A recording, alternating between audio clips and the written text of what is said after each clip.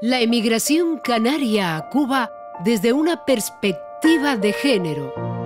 Él vino dejando allí a su esposa, siempre pensando regresar y siempre él pensaba y decía si yo pudiera volver a ver la tierra mía. Un documento que da voz a las mujeres que sufrieron las consecuencias de la emigración masculina. No eran ni viudas, ni solteras, ni separadas. La mujer estaba muy sometida. Mujeres de sal, hombres de humo. Un documental de Iris Carballo con la participación de Televisión Canaria.